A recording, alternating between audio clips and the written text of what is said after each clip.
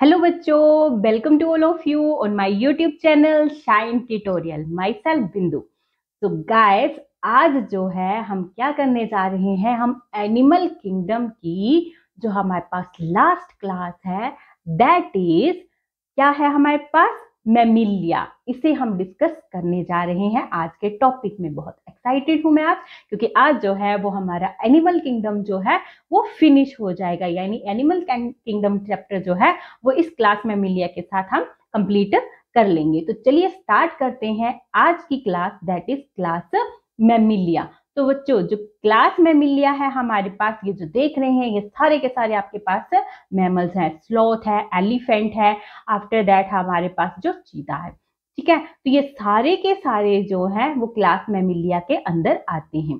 Class Mammalia अगर हम discuss करने जा रहे हैं तो इसका नाम मेमिलिया क्यों पड़ा देखिए क्लास मेमिलिया के अंदर एक यूनिक फीचर होता है कि जब यहाँ पे बच्चों को जन्म दिया जाता है तो जो माँ होती है, वो बच्चों को मेमरी ग्लैंड के थ्रू जो है, वो नरिशमेंट प्रोवाइड करवाती है। यानी कि मेमरी ग्लैंड जो है इस क्लास के अंदर ये क्या है? एक यूनिक फीचर है। उनकी एक विशेषता है कि उनके अंदर ही मेमरी ग्लैंड्स जो है पाए जाते हैं। मेमरी ग्लैंड्स में क्या होता है? मिल्क की प्रोडक्शन होती है, दूध की प्रोडक्शन होती है, जिससे कि यंग वंस को, यानी जो छोटे बच्चे हैं, उनको नरिशमेंट प्रोवाइड करवाई जाती है। तो चलिए स्टार्ट करते हैं आज का topic that is class Mammalia तो इसमें फ़र्स्ट जनरल करेक्टरिस्टिक्स पे आते हैं। तो सबसे पहले यही डिस्कस करेंगे कि इसका नाम मैमिलिया क्यों पड़ा? The most unique mammalian characteristic mammalians का करेक्टरिस्टिक्स क्या है? यूनिक करेक्टरिस्टिक्स क्या है कि उनके अंदर मिल्क प्रोड्यूसिंग ग्लैंड्स प्रेजेंट होते हैं, ग्रंथियाँ होती हैं, जिससे दूध की प्रोडक्शन होती है। दूध बनता है उनके अंदर, जिन्हें हम मेमरी ग्लैंड्स कहते हैं, जिससे कि जो यंग वंस हैं, यानी छोटे बच्चे हैं, उनको नरिशमेंट प्रोवाइड करवाई जाती है। यानी उनका पालन पोषण जो स्टार्टिंग के जो उनका टाइम होता है, उसमें उन्हें मिल्क प्रोडक्शन के द्वारा ही जो है वो पोषण दिया जाएगा। ओके नेक्स्ट आ जाते हैं इसके करेक्टर पे। तो जो इसका नेक्स्ट करेक्टर है, वो है हैबिटेट कहाँ रहते हैं? कोस्मोपोलिटेंट है बच्चों, हर कहीं रहते हैं। अगर आप बर्फीले इलाकों में चले जाओ डेजर्ट के अंदर चले जाओ, पानी के अंदर चले जाओ, हवा में चले जाओ मैमल्स हर कहीं प्रेजेंट हैं। तो कौन कौन से मैमल कहाँ प्रेजेंट है? चलिए देखते हैं। पोलर आइस कैप्स यानी कि बर्फीले इलाकों के अंदर जो है, वो पेंगुइन्स हैं और पोलर बियर्स हैं। सफ़ेद भालू, जो सफ़ेद बर्फ़ की तरह ही दिखता है, उसे छुपने में वहाँ पे आसानी होती है। इनके सफ़ेद भालुओं के अंदर जो है, वो टू टाइप्स ऑफ़ फर होता है, एक बाहर वाला, एक अंदर जो है, एक कोटिंग होती है फर की, जिसके द्वारा वो अपने बॉडी टेम्परेचर को रेगुलेट कर सकता है। यानी हम जो हैं मैमल्स जो हैं, वो कैसे हैं? वो हैं अपने बॉडी टेम्परेचर को रेगुलेट करके रख सकते हैं, यानी कि पर्यावरण के हिसाब से हम अपने बॉडी टेम्परेचर को ढाल सकते हैं।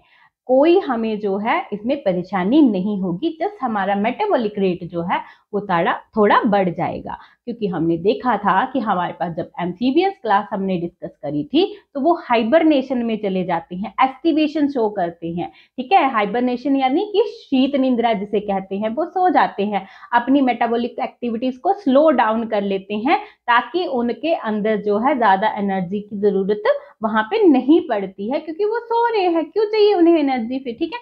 लेकिन हम जो है, हर समय जागे रहते हैं। ऐसा तो नहीं कि हम शीत निंद्रा में चले जाते हैं, सर्दियों में छुट्टियाँ हो जाती है और सो जाते हैं, एक जगह जाके। नहीं, हम बारह महीने जो है, सिर्फ़ रात को ही सोते हैं, बाकी हमने जागना ही जागना होता है। दैट्स वाई हम मैमल्स जो है ओस्मो रेगुलेशन करते हैं, अपने बॉडी टेम्परेचर को मेंटेन करके रखते हैं, क्योंकि हम वार्म ब्लडेड एनिमल्स हैं, ठीक है?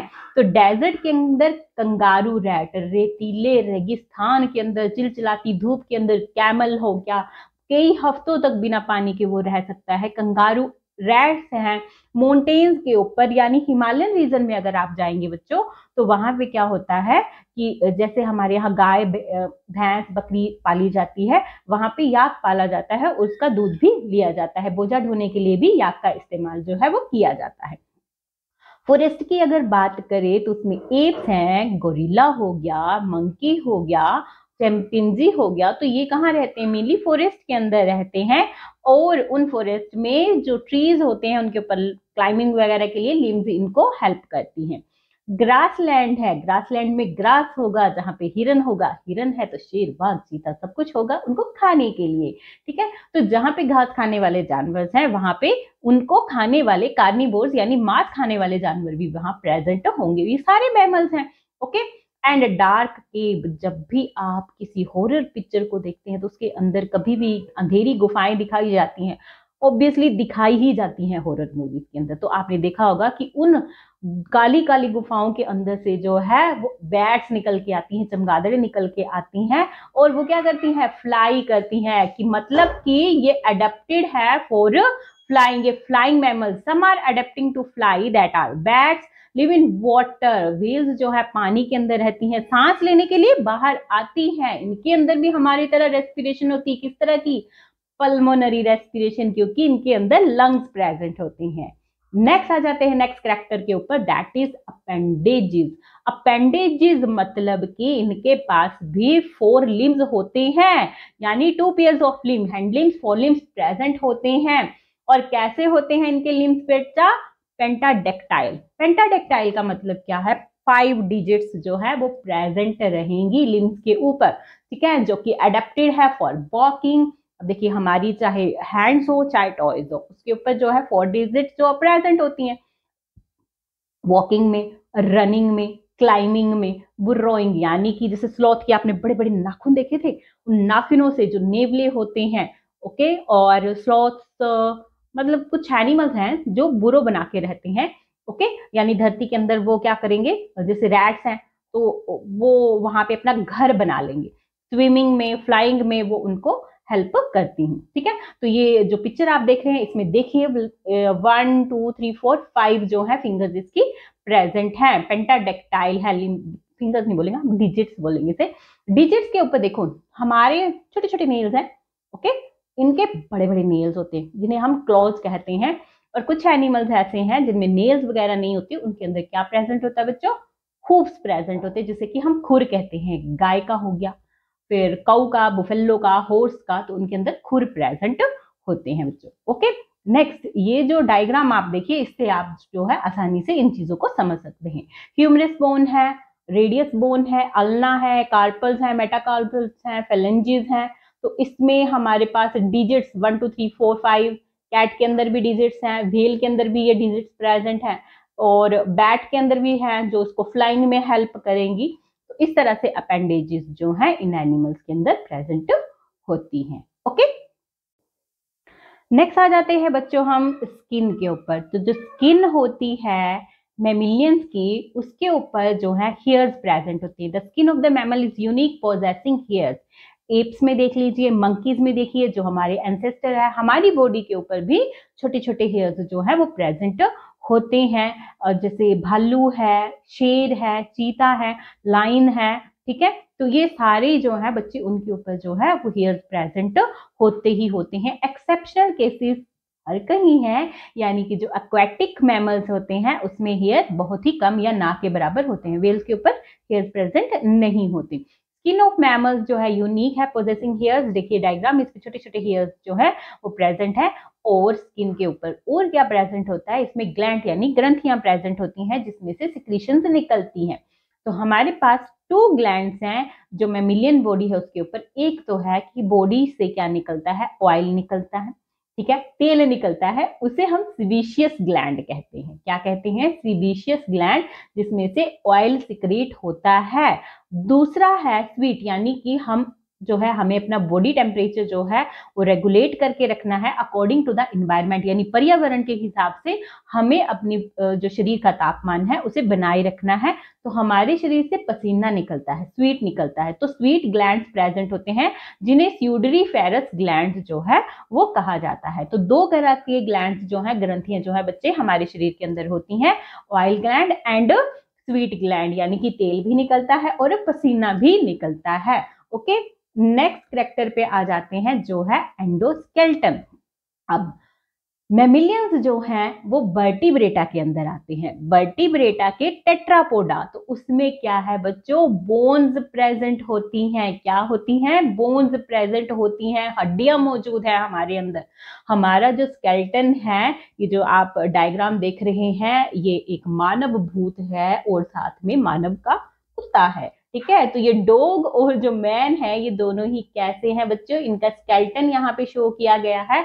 तो एंडोस्केल्टन कैसा है? बोनी है। बोन प्रेजेंट है। स्कल जो है डाइकॉन्डेक्टाइलिक सॉरी डाइकॉन्डाइलिक होता है, यानी कि दो हिस्सों में डिवाइडेड होता है हमारा स्कल और नेक जो होता है, इसके पास सेवर क्रेनियन बर्टिब्रे जो है यहाँ पे प्रेजेंट रहते हैं। ठीक है? सात क्रेनियल जो सर्वाइकल वर्टिब्रे जो सुना होगा आपने सर्वाइकल की प्रॉब्लम होगी, ठीक है? तो सेवन सर्वाइकल वर्टिब्रे यहाँ पे जो है, वो प्रेजेंट रहते हैं ओके नेक्स्ट करेक्टर पे आ जाते हैं दैट इज़ सिलोम तो हमने जब पढ़ा था ना बच्चे कि सिलोइमिक कैविटी जो है, वो प्रेजेंट रहती है मीजोडर्म और एक्टोडर्म और एंडोडर्म के बीच में, ठीक है? तो वही कैविटी जो है, वो डिवाइडेड होती है एंटीरियर थोरेसिक कैविटी में ठीक है? एंटीरियर थोरेसिक कैविटी में और यहाँ पे डायफ्राम देखिए, हमारी रिब्स होती है ना, जब सांस लेते हैं लंग्स का तो वो बताते हैं डायग्राम यहाँ पे। तो इस तरह से जो है, वो डायग्राम जो है डायफ्राम की, ये मैमिलियन करेक्टर है मैमल्स के अंदर ही ये प्रेजेंट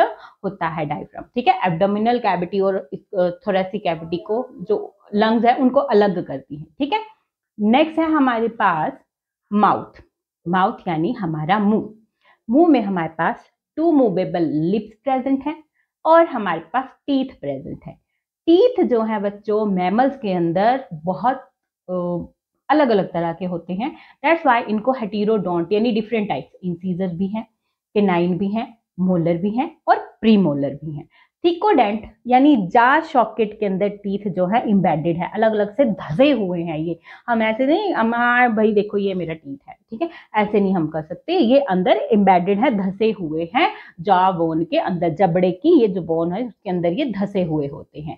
डाइफोडेंट अब देखो, हमारी ज़िंदगी के अंदर, यानी हम मैमल्स हैं, दो तरह के जो हैं, वो टीथ आते हैं हमारे पूरे लाइफ टाइम में। जीवन काल में दो तरह के टीथ आएँगे। उसमें हमारे पास क्या होते हैं? जब हम छोटे बच्चे होते हैं, उसके बाद जो हमारे टीथ आते हैं, उन्हें हम मिल्क दूध के दांत कहते हैं मिल्क टीथ कहते हैं। जब वो मिल्क के टीथ टूट जाते हैं आफ्टर दैट जो टीथ आते हैं, वो परमानेंट टीथ कहलाते हैं, क्योंकि जब तक हम बुढ़े नहीं हो जाते, तब तक वो दांत हमारा साथ देते हैं, अगर हम उनकी अच्छी तरह से केयर करें, नहीं तो वो टूट जाएँगे जवानी के अंदर ही, ठीक है? तो दो तरह के टीथ होते हैं बच्चों, बचपन में आते हैं दूध के दांत और फिर आफ्टर दैट आते हैं हमारे पास परमानेंट टीथ जो कि बुढ़ापे तक हमारा साथ निभाते हैं। अब एलिमेंट्री कैनाल को हम यहाँ ज़्यादा डिस्कस नहीं कर रहे हैं। जब ह्यूमन डाइजेस्टिव सिस्टम पढ़ेंगे तो उसमें उसको पूरा डिस्कस करेंगे। तो इसमें गट ओपन होता है एनस में तो इसमें हमारे पास माउथ था बक्कल कैविटी है ओइसोफेगस है क्रोप गिजार्ड लाइक स्ट्रक्चर हमारे अंदर नहीं होती है। ठीक है? क्योंकि हमारे टीथ है और टंग है जो फ़ूड की मैस्टिकेशन में वो हेल्प कर लेंगे ओके तो उसके बाद हमारे पास स्टमक आएगा स्मॉल इंटेस्टाइन है लार्ज इंटेस्टाइन है रेक्टम है एनस ये सब हमारे पास जो है वो प्रेजेंट होता है और गट ओपन करता है थ्रू द एनस ओके तो ये क्लियर हो गया यहाँ से, उसके बाद आते हैं नेक्स्ट करेक्टर क्वे दैट इज़ रेस्पिरेशन तो रेस्पिरेशन हमारे अंदर किस तरह की होती है? हमारे पास फुली डिबल लंग्स प्रेजेंट है। हमारे फेफड़े अच्छी तरह से तैयार हो चुके हैं और जो रेस्पिरेशन होंगी, यानी कि जो हम रेस्पायर करेंगे, सांस लेंगे, वो किस तरह की होगी बच्चों हमारे अंदर? वो होगी पल्मोनरी क्योंकि लंग्स के थ्रू जो हम रेस्पायर करते हैं फेफड़ों के द्वारा जो श्वसन क्रिया होती है हमारे अंदर, हम उसे पल्मोनरी रेस्पिरेशन कहते हैं। ओके? क्यों? क्योंकि इसके अंदर जो है ठीक है? नेक्स्ट है साउंड प्रोड्यूसिंग ऑर्गन जो है, वो लैरिंग्स होते हैं। सिरिंग्स होते थे, इसमें वर्ड्स के अंदर, ठीक है? वो गाना गाते थे। सिंगिंग के लिए ऐसे लगा देना। हम लैंग्वेज यानी लैंग्वेज यूज़ करते हैं तो एल से लेरिंग्स हमारे अंदर जो है साउंड प्रोड्यूसिंग ऑर्गन जो है, वो प्रेजेंट होता है और चार कार्टिलेज के द्वारा जो है, उसको सपोर्ट किया जाता है। अब देखिए जब हम खाना खाते हैं, खाना खाते खाते कई बार क्या होता है, खाना जो है हमारी बिंड पाइप श्वसन नली में चला जाता है, ठीक है? फिर हमें बहुत तेज खांसी आती है। तो उससे बचने के लिए हमारे पास क्या होता है, हमारी जो ग्लोटिस होती है, उसके ऊपर ना एक ढक्कन नुमा ऐसे स्ट्रक्चर होती है, जिसे एपीग्लोटिस कहते हैं। जब हम खाना खा रहे होते हैं तो वो स्ट्रक्चर वहाँ बंद हो जाती है, ताकि खाना जो है, वो उसमें ना चला जाए। तो glottis can be closed by epiglottis ये भी मेमिलियन का ही करेक्टर है। नेक्स्ट बात कर लेते हैं सर्कुलेटरी सिस्टम की। तो कंप्लीट सर्कुलेटरी सिस्टम जो है, वो हमारे अंदर प्रेजेंट है। फोर चैम्बर्ड हार्ट होगा, चार चैम्बर हैं हार्ट के। ऑक्सीजनेटेड डीऑक्सीजनेटेड ब्लड हमारा मिक्स नहीं होता है। और दो ओरिकल होंगे, दो वेंट्रिकल होंगे। आरबीसी जो होती हैं हमारी, वो बाइकनकेव होती हैं, ठीक है? डी न्यूक्लिएटेड होती है कैमल और जो हमारा लेमा है, उसको छोड़ के हमारे पास जो आरबीसीज है, बाकी सभी के अंदर बायोकनकेव और डी न्यूक्लिएटेड होंगी। ओके बच्चे? उसके बाद है नर्वस सिस्टम की अगर हम बात करें, हमारा ब्रेन जो है वो फुली डिवेल्प है। उसके में अंदर जो है twelve pairs of cranial nerve present होती हैं। ऑप्टिकल क्वाड्रीगेमिया यानी कि फोर ऑप्टिकल लोब्स जो हैं वो हमारे अंदर प्रेजेंट होगी। और क्या है? कॉर्पस कैलोसम ये सिर्फ़ और सिर्फ़ जो मैमल्स होते हैं, उनके ब्रेन के अंदर ही पाया जाता है, जिससे हमारा दिमाग जो है वो बहुत ज़्यादा तेज है, ठीक है? ये कॉर्पस कैलोसम जो है, केवल और केवल ह्यूमन जो होंगे सॉरी ह्यूमन नहीं, जो मैमल्स होंगे, उनके ब्रेन के अंदर ही ये पाया जाता है ओके नेक्स्ट आ जाते हैं कि जो हमारे पास इंटरनल एयर है, ठीक है? इंटरनल एयर के अंदर ना क्वाइल्ड सॉरी कोकीला होगा, जो हेयरिंग अपरेटस जिसे कहते हैं, जिसे ऑर्गन ऑफ़ कोटाई ये क्वेश्चन बनता है ऑर्गन और कोटाई जो है, वो कहाँ प्रेजेंट होता है? तो जो मैमल्स का जो ईयर होता है इंटरनल ईयर है, उसके अंदर ये प्रेजेंट रहता है। अब एक बात आपने सुनी होगी कि हमारे शरीर की सबसे छोटी हड्डी कौन सी है? तो वो कौन सी होती है? स्टेपीज होती है। तो जो मिडल ईयर होता है हमारा इनर है मिडल है और एक्सटर्नल ईयर है, ठीक है? अंदर है, बाहर है और एक बीच वाला एयर है। तो जो मिडल एयर होता है, उसमें तीन तरह की हड्डियाँ होती हैं बच्चों। तो उसमें आती है सबसे पहले स्टेफिस जो सबसे छोटी हड्डी है इनकस और मेलस, ठीक है? एक्सटर्नल एयर जो है, उस पर ये पिन्ना प्रेजेंट होता है। ये क्या करता है? आवाज़ को यहाँ वहाँ सभी जगह से इकट्ठा करके हमारे एयर के अंदर भेज देता है। तो ये भी मैमल्स के अंदर ही प्रेजेंट होता है। नेक्स्ट बात कर लेते हैं एक्सक्रीटरी सिस्टम की। एक्सक्रीटरी सिस्टम में यानी कि जो मैमल्स होते हैं, वो एक्सक्रीट क्या करते हैं? देखिए पेयर ऑफ़ किडनी होगी इसके अंदर, दोनों साइड के ऊपर प्रेजेंट होती है। इस किडनी के अंदर जो है, ये कैसी होती है बच्चों? बीन शेप्ड बीन पता है किस तरह से? जैसे राजमा का दाना नहीं होता, ठीक है? वैसे बीन के शेप की ये किडनी हमारी होती है, दोनों तरफ़ होगी, ओके? और ये क्या करेगी? ये एक्सक्रीट करेगी यूरिया। एक्सक्रीशन जो है, यूरिया होता है मैमल्स के अंदर और इसे यूरियोटेलिक एनिमल्स जो कहते हैं, होम्योथर्मल, यानी कि अपने बॉडी टेम्परेचर को रेगुलेट करके रख लेते हैं वार्म ब्लडेड है। और हाई मेटाबॉलिक रेट है, क्योंकि हम शीत निंद्रा में नहीं जाते तो मेटाबॉलिक रेट जो है हम अपना लो नहीं करते, वो हाई ही रहेगा। ओके बच्चों? नेक्स्ट आ जाता है रिप्रोडक्शन तो दो तरह के सेक्सेस होते हैं मेल भी है फीमेल भी है, यानी सेक्सुअल डाइमोर्फिज्म ये शो करेंगे। यूनिसेक्सुअल ऑर्गेनिजम्स हैं मेल के पास कॉपुलेटरी ऑर्गन है, जिसे कि पेनिस कहा जाता है। टेस्टिस जो है, वो सेक्रोटल सैक में प्रेजेंट होती है, क्योंकि मेल की जो बॉडी टेम्परेचर होता है, वो बहुत ज़्यादा हाई होता है। तो जो स्पर्म्स होते हैं, उनकी प्रोडक्शन के लिए टू डिग्री सेल्सियस जो टेम्परेचर है, वो लो चाहिए। दैट्स वाई सेक्रोटल सैक उनकी बॉडी के बाहर प्रेजेंट होता है, जिसमें टेस्टिस होगी, जहाँ पे उनकी स्पर्म की प्रोडक्शन होती है, ठीक है? फर्टिलाइजेशन कैसी रहेगी? इंटरनल रहेगी बच्चों, क्योंकि माँ जो है, वो गेस्टेशन पीरियड के दौरान जो है, अपने बच्चों को जो है, अपने जो यूट्रस है, उसमें जो है, उसकी डेवलपमेंट जो है बच्चे की होगी, ठीक है? और कैसे रहेंगे हमारे पास ये? बीबी पैरस ऑर्गेनिजम्स होंगे। बीबी पैरस का मतलब है जो बच्चों को जन्म देते हैं। ओबी पैरस होते हैं जो अंडे देते हैं, ठीक है? लेकिन इसमें भी एक्सेप्शनल केस है। प्रोटोथेरियंस जो एग लेइंग मैमल्स होते हैं। एग लेइंग मैमल्स जो कि क्या करेंगे? वो मैमल्स जो कि अंडे देते हैं ओके नेक्स्ट आ जाता है हमारे पास एम्ब्रियो एम्ब्रियो जो होता है मैमल्स का, वो एमनोइटिक फ्लूड के अंदर होता है। ये जो एमनोइटिक फ्लूड होता है सराउंडेड बाय एमनियोन है तो एमनोइटिक फ्लूड जो है, ये जो है, वो प्रोटेक्शन प्रोवाइड करवाता है बच्चे को in the uterus during the gestation period high degree of parental care होती है। हम जब पैदा हुए थे, कब तक हमारे माँ बाप ने हमारी जो है सेवा की है? ठीक है? वैसे ही जैसे बिल्लियाँ हैं, ठीक है? कैट्स है फिर डॉग्स हैं। तो ये क्या करते हैं बच्चे? ये कुछ टाइम तक अपने बच्चों को मिल्क से फ़ीड करवाते हैं ठीक है?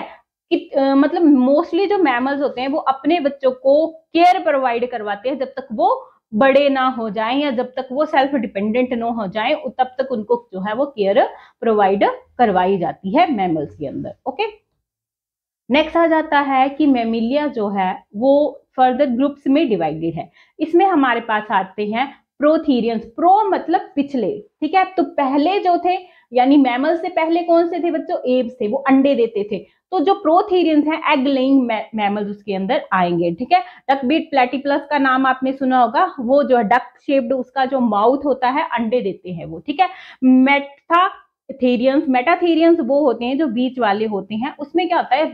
वो बच्चों को ही जन्म दे रहे हैं लेकिन वो क्या करते हैं, उनके बच्चे जो इतने ज़्यादा डिवेल्प नहीं होते हैं, जब वो उनका बर्थ होता है। जैसे कंगारू की अगर हम बात करें तो उसके बेबी ना बिल्कुल मिन्यूट से बेबीज होते हैं। तो उनका जो पाउच होता है पाउच के अंदर उसको रखते हैं और जब उसको पाउच के अंदर रखेंगे तो वहाँ पे उसके जो है मेमरी ग्लैंड प्रेजेंट होंगे, जिनके थ्रू उनको फ़ीड करवाया जाएगा। जब तक बच्चा बड़ा नहीं हो जाता, तब तक वो पाउच के अंदर ही रहता है। यूथेरियंस यूथेरियंस में हम आ जाते हैं ट्रू मैमल्स हैं, ठीक है? अब हम पूरे फुली डिवेल्प मैमल बन चुके हैं, जो अपने बच्चों को जो है वो बर्थ होता है उनका, ठीक है? यानी कि देखिए एग में एग्स के अंदर डेवलपमेंट हो रही थी पाउचेस के अंदर मिन्यूट बेबीज थे। जो यूथ एरियंस होते हैं, उसमें बड़े बड़े बेबीज निकलते हैं, यानी फुली डिवेल्प हैं अब बेबीज बाहर उनको नरिशमेंट प्रोवाइड करवाई जाएगी आफ्टर दैट वो उनको पेरेंटल केयर भी प्रोवाइड करवाई जाएगी। तो जैसे मैन हो गया ह्यूमंस हो गए मतलब ह्यूमंस हो गए, ठीक है डॉग्स हो गए कैनाइन मतलब तो ये सारे के सारे जो है, वो ट्रू मेमल्स कहलाएँगे, ठीक है? मोस्टली हमने इसके एग्ज़ाम्पल जो थे, वो साथ साथ में ही कर लिए थे। तो यहाँ पे हमारी जो क्लास मेमिलिया है, ये फिनिश होती है। इसके साथ ही हमारा एनिमल किंगडम चैप्टर भी फिनिश होता है। नेक्स्ट जो है, हम प्लांट फिजियोलॉजी स्टार्ट करेंगे अपने नेक्स्ट वीडियो के अंदर। तो तब तक के लिए good bye and thank you